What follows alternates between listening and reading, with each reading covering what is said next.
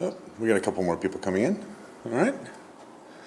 Uh, My name is Justin Forbes. I'm the Fedora kernel maintainer and have been for a disturbingly long time.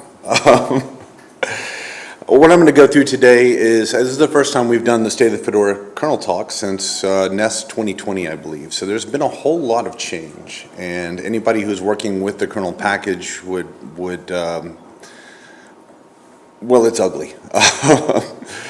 It's ugly for a reason, though. So what I'm going to go into, uh, go into in this talk is a little bit on uh, the end user experience, stable kernels versus rawhide kernels, um, a little bit there. I'll go into a little bit of the kernel contributor developer experience, and then I'm going to go into um, uh, people who are debugging, testing patches, things like that upstream, and how you deal with that. Um, From a kernel perspective now, that the, if you look at the spec, it's, it's messy, it's not as clear how you do some things, so I'll, I'll go through that. I'm gonna try to do this all in 25 minutes, so instead of having a nice flow, it's gonna be a little bit disjointed, um, section to section. So the first thing is, is stable Fedora kernels. And if you're a kernel user, you probably are, if you're an end user and you're not a developer, you probably noticed there are a whole lot of kernel updates. And why are we getting so many kernel updates? Uh, one of them is Fedora does try to stay very close to upstream. We push almost every single stable release candidate, uh, stable release as an update.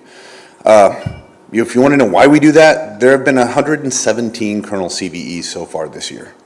Uh, Now, a lot of those CVEs don't affect everybody. Uh, Some of them only affect very specific hardware. Uh, Some of them affect older kernels. Um, We've already fixed them, but just in 2023 alone, there have been 117 CVEs so far. Uh, One of the other things that, that happens is we get regressions as these updates go through, and it's unfortunate, so uh, we got to get bug fixes and try to get those regressions through.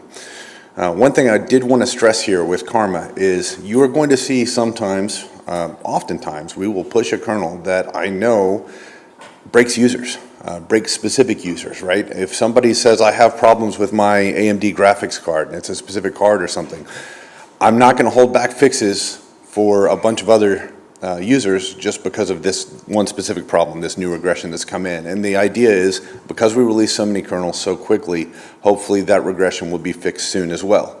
Uh, Now, there are exceptions, like there was an XFS uh, issue that, that could corrupt data.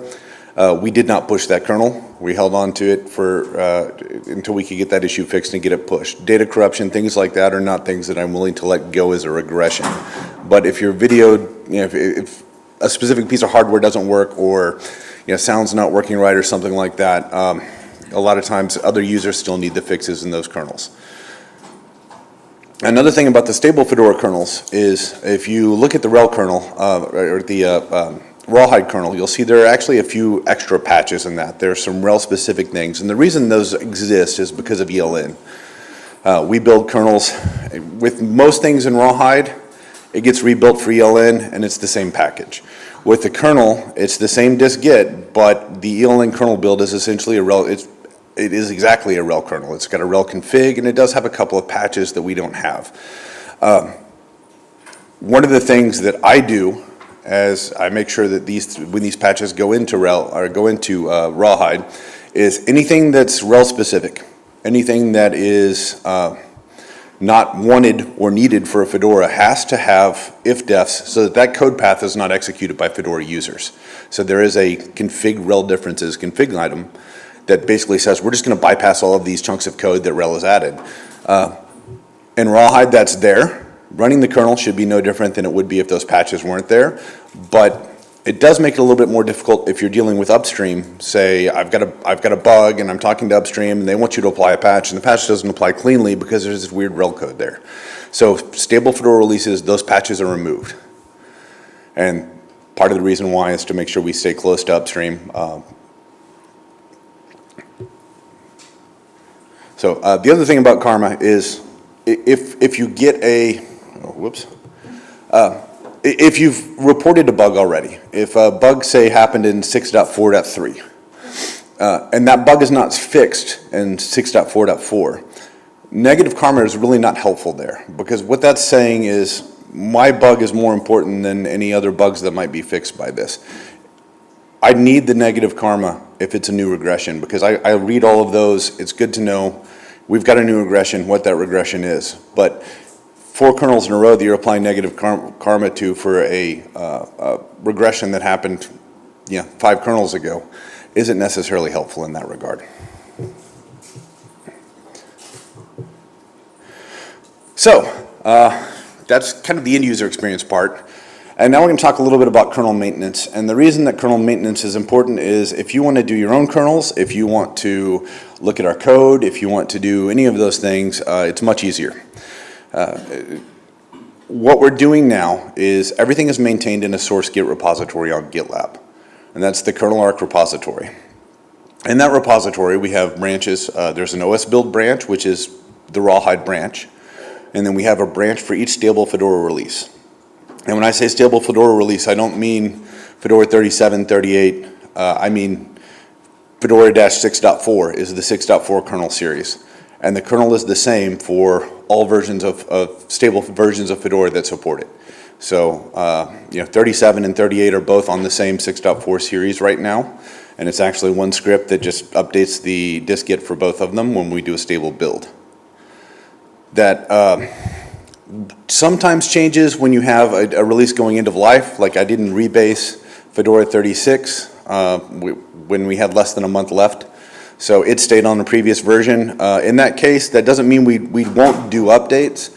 It just means I'm not going to do an update unless it's a, a, a, security fix or something like that of some importance. Uh, it, it is end of life from a new code standpoint at that point. Another thing that's interesting about this, though, ma maintaining everything in source Git, it's an exploded kernel tree. And we have scripts that actually generate the dist-git, and they do it by creating a source RPM and then just exploding it over the dist-git and adding everything again. That means anything that's done in dist-git would be overwritten. Now, that's a weird workflow, and I know a lot of people aren't used to it. So, you know, uh, luckily we don't have people frequently committing to dist-git in kernel.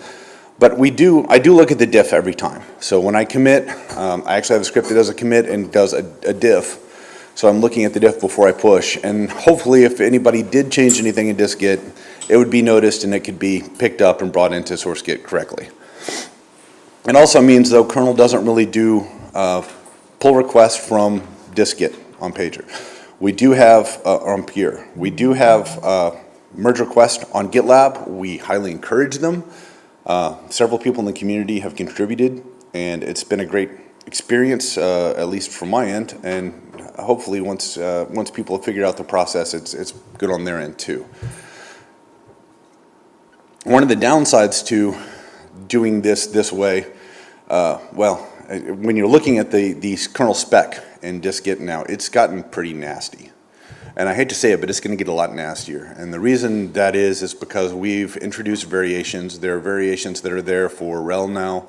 There are variations that are coming for Fedora. So uh, the real-time kernel is supposed to, at some point, uh, be merged upstream. I'll say any day now. Uh, Clark would really appreciate that, but we don't know when it's going to be. It was, you know, it's been any day now for a year or two. Uh, when that happens, there's a good chance we're going to do a Fedora real-time kernel. Um, there's a good chance that we will do a 16K kernel uh, for ARM devices. Those things are all variations, and while it, it's very easy to manage them uh, from the build side, it gets pretty ugly in the spec. Eventually, I kind of hope to break those things up and make it to where you don't edit the spec or the spec template directly at all. You're just editing chunks which relate to what you need to do and make it all a little bit more manageable, but we're not there yet.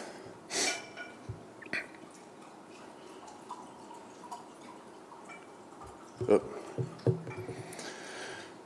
Now the configs portion of all this, uh, if you need to change a configuration item in your kernel, say you want to turn on a driver that we haven't turned on, or you need to turn off something, uh, anytime you need to change the configs, they're terrifying. Uh, there's thousands and thousands of files in the Red Hat directory. There's a Red Hat configs directory.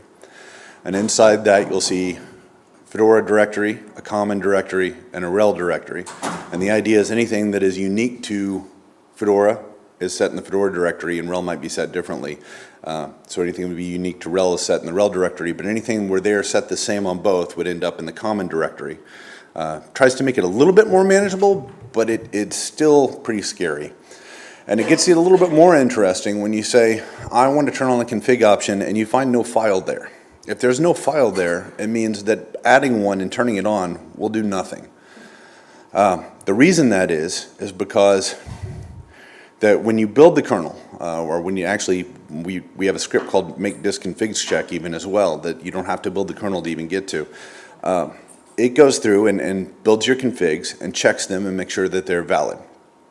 If something is unset, uh, it's going to say, hey, there's nothing set here, and you have to set it in one way. Now, the reason that you don't have a file there, if something is unset and you're trying to turn something on, you know that's a valid config item, is because there's a dependency that it's missing somewhere. So if I don't turn on uh, net vendor Qualcomm, for instance, there's four drivers underneath there that it doesn't even ask about. It's not going to check because I haven't turned on that dependency. So if you are change, changing things, and, and this is important because uh, we even have internal kernel developers that, that stumble on this. It's just, unless you're dealing with kconfig frequently, it, it gets somewhat confusing. Uh, if there's not a file there, it means you need to find out what that config option depends on, and perhaps go change that as well. Um, Once you do set your configs to what you want to do, um, there is a command make dist configs check, which builds all configs for all arches and checks them to make sure they're valid. It will tell you if something is missing. Sorry. It'll tell you if something is missing, meaning it hasn't been turned on, uh, or hasn't been set in either way. It will also tell you if there's a mismatch. So let's say I set a config item as a module, and for some reason, due to dependencies, it's forcing it to be built in. It can't be a module. It'll say, hey, you set this as module. The generated configs are showing it as, as built in. Uh, you need to go fix that. And it won't let you continue without that. Please, please, if you're doing a- merge request for uh, the kernel, changing any config items, run this command first. Because if you don't, CI will fail. It's going to have to change anyway. Uh, The other thing I'm going to say is help is on the way. I know how messy this is. I know how bad this is. Others in, in, inside Red Hat know how bad this is, and there is, uh, there have been several discussions, and there's even been, uh, there's code being generated now by someone uh, within Red Hat that will be made, that will be made public as, as part of this kernel repository, uh, where you will be able to manage configs in a much easier way. You'll have a way to say, I want to turn on this driver, and it's going to come back and say, okay, as a result, we also have to turn on these things. Is this okay? And that's it. Uh, It'll be a lot easier to manage, but it's going to take a little bit of time. So I'm hoping by the end of the year, but we'll see.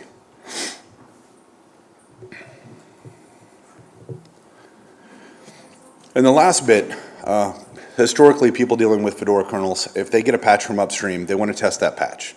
Uh, You know, it- it's, it used to be a lot clearer how you add patches within the spec file. It's still not horribly difficult. Uh, There are two ways that you can really do things. If you're working in dist-git, you can actually just add that patch to a branch and, and make dist RPM, and it's going to generate a source RPM for you to test. But if you really want to work within dist-git, or you're working from a source RPM itself, we have a blank patch called Linux kernel test patch. And you can take a patch or a series of patches and cat that to that file, and it's already there. It's already applied, so that you don't have to go through and, and mess with things that way. We also have an option in dist-git for config overrides.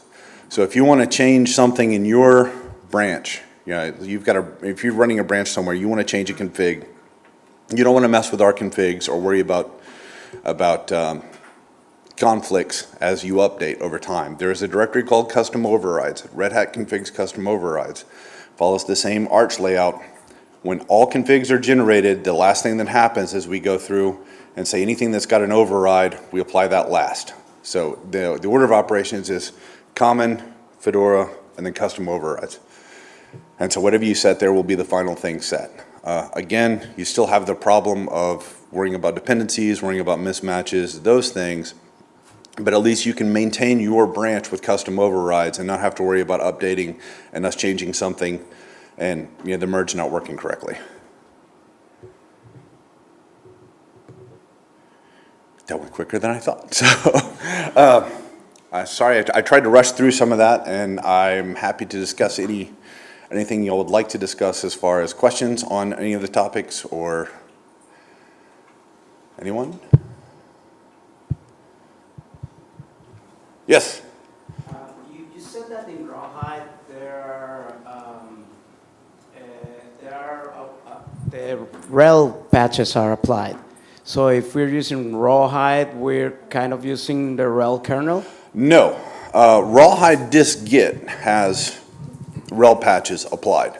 But like I said, the, anything specific there, so like there's, um, there's some code to support a different type of multipathing that RHEL used to support. Anyway, upstream has rejected that, so it's a, it's a RHEL patch. Uh, They are caring for compatibility reasons or whichever, but they, uh, that code that enables all of that is, is if-def in the kernel itself, and it's under uh, config RHEL differences. So RHEL, and thus ELN, has config RHEL differences turned on, meaning that code path exists, uh, but rawhide does not. So functionally, the kernel is the same as it would have been on a stable Fedora branch, but the code is there. Anyone else? Yeah. So um, I looked at the this whole workflow a few times in the past, and it always struck me as very, very complex. I mean, I know that there are reasons for this, but like long term, do you think that there's chances that it will become simpler, or, or do we really need this complexity? Um, some of the complexity I think is required, and some of it, uh, some of it we can simplify. Uh, you know, like I said, the config stuff I know is a nightmare. We're trying to simplify that.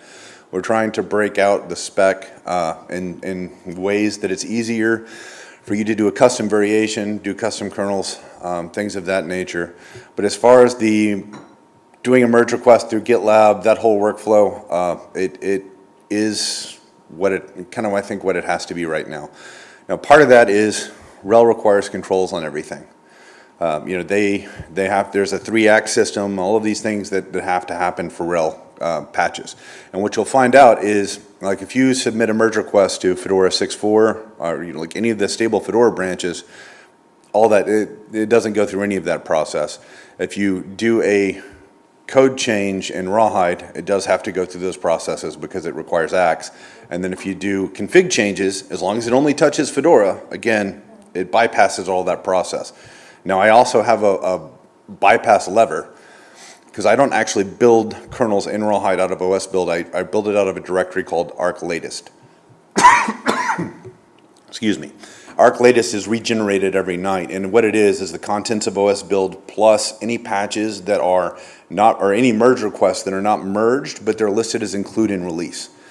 And the reason that's there is so that I can make sure that Fedora is doing what's best for Fedora without having to wait for RHEL acks or RHEL process or those bits, right? I still have the ability to react and do everything that I need to do and what's best for the Fedora community. Uh, now, everybody on the teams that I you know, work on and work with internally are certainly, uh, most of them are, actually, they're all running Fedora. So they're happy to, you know, they, they think about Fedora, they're happy to have things going for Fedora. But at the end, they're worried about, you know, getting code in and doing things for RHEL in that RHEL process. My only job is the Fedora kernel. And so that's, you know, I'm the, the lookout to make sure, hey, we can't overstep bounds here. We have to make sure that we have ways around all of this to do what's best for Fedora at all times.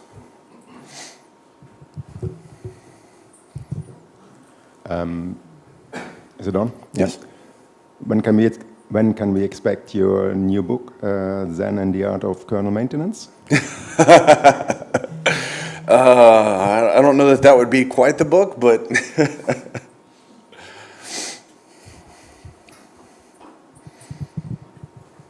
let's say when I started kernel maintenance, I had a lot of hair. Some About uh, upstream or not upstream bug reports, so what, what is useful to have in a, a Bugzilla bug report and what is not useful. Assume uh, you have a wireless car that not quite works as an access point. Right. Uh, Is it useful to have the Bugzilla report there about it? I assume it would be in um, upstream's issue, but I don't really know. So we try to stick as, as close as possible to upstream. And yes, most of the time it is going to be an upstream issue. Now, it's good for us to know that there's, there's several people with, with these types of issues because one of the things I have to do is, is watch for patches upstream.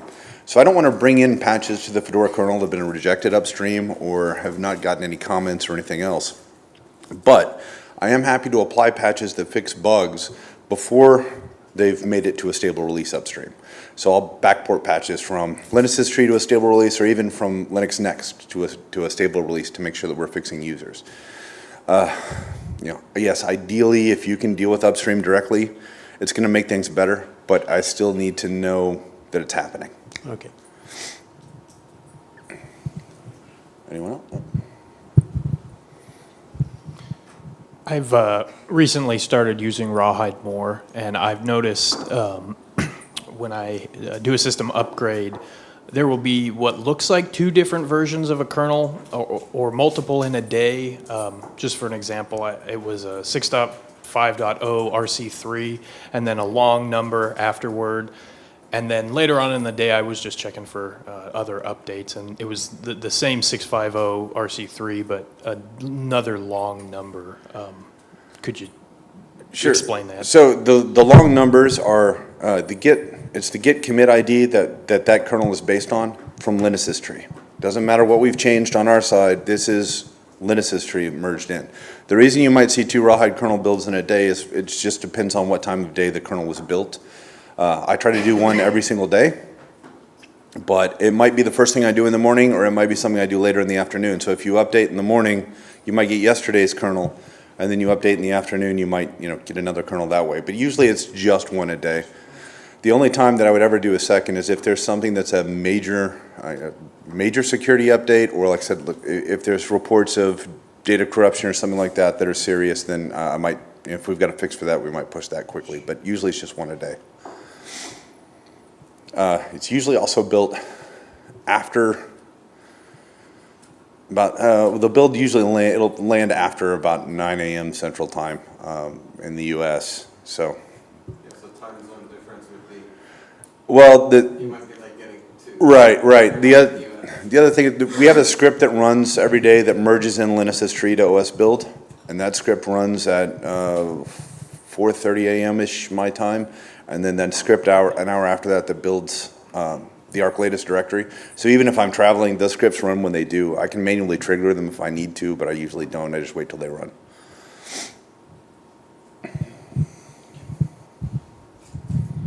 Uh, hello, I work for the uh, QA team, and uh, when I look at kernels at Bodhi, uh, they usually in updates testing, usually they get a lot of karma quickly, a lot of feedback. Uh, do you have any like approach that you take? How long you keep the new kernel in updates testing before you push push it? Yes and no. So one of the things we do, we turn off auto karma. Uh, we don't want the auto push. Um, we realized years and years ago that we would you just skip updates testing. Uh, we we usually get enough karma to push immediately. So the the typical wait now, because you're doing one to two kernels a week, is it sits in updates testing no less than one full day, uh, and we'll push after that. But a lot of times we just kind of wait until the next kernel comes out and we push to stable, and then that one will go to updates testing. Uh, obviously, if there's a, a critical security bug or anything like that, then we, we push it through as quickly as we can. Uh, sometimes even uh, with Kevin and QA helping out, we end up with heroics and people going above and beyond to make sure that we can get a serious security bug tested, pushed to testing, given karma, and pushed to stable within a number of hours. Okay, I'm asking because sometimes it happens, and I think it happened recently, that uh, some part of our user base is- affected. For example, certain AMD cards no longer boot, and uh, usually you can see the negative feedback only after, for example, two days, three days, because it doesn't affect everyone, so it will take time until the affected people realize, update, realize, report the feedback. So if, uh, I don't know, if, for example, new releases, uh, you wait for at least three days, or like, what, what's your approach to minimize the impact? That, uh, so that one's an interesting one. Uh, We, I didn't want to push that kernel when I did. Um, The, the idea is, yes, you, you give it at least a day in updates testing, and usually you'll get feedback by then. Uh, The AMD issues, originally I thought it affected fewer cards than it did. It turned out it affect, impacted more cards, and so we- there was a second kernel that was never pushed. And then we had um, uh, an- another update that came in that fixed some of the cards, but left some of them still broken. Unfortunately, there was also a critical security update there, and I, I mentioned that in the Bodhi when I pu- pushed it. We had to push it because of this. I'm sorry, we'll try to get this regression fixed as quickly as we can, but yeah. Okay. And I do have one related question extra. So, um, so if I see some people complaining on uh, discussion or somewhere that they have a hardware-related problem, and it seems to be like really specific, it's not like tens of people complaining about the same thing. What's the best advice that I can give them? Like report a bug in Bugzilla, Red Hat Bugzilla, or reach the upstream if possible, but it's much harder to talk to the upstream, right? Especially kernel. It's like somewhat easier with Mesa and stuff because they have GitLab and everything, but for kernel and mailing lists and everything, it's very difficult for the, like the regular contributors. Right. So what's the best approach to do? Red Hat Bugzilla is probably the best approach there. Uh, Like I said, we'd, we'd wish you could work with upstream, but I understand it's difficult for me even to remember, oh, well, these, you know, this upstream used like, uh, um, ext4. Great, you want to file Red, uh, the upstream Bugzilla? He'll use it. But you go to another subsystem, there's a kernel Bugzilla, yeah, you can enter in a bug for it, but they'll never look at it, right? Everybody, every subsystem has a different way of working, so that's kind of, yeah, one of the ways we have to, oh, I'm out of time. Yep.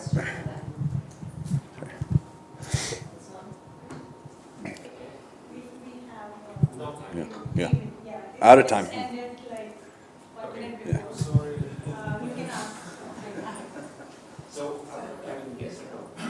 Yeah. You can ask the question maybe offline. Yeah, uh, I, uh, yes, I'll be around, I'll be around all week and happy to answer any questions, uh, or take any contributions.